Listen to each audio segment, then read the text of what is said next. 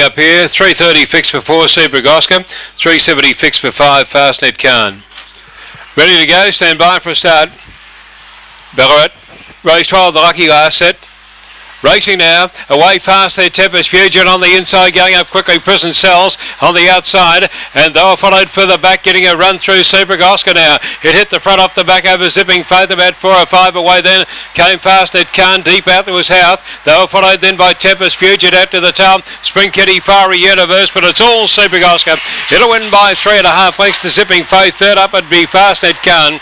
The gap in the race there to Fiery Universe, followed by Tempest Fugitive, Spring Kitty, and the last couple there, Houth and also Prison Cells, and the time reading out around 22.19.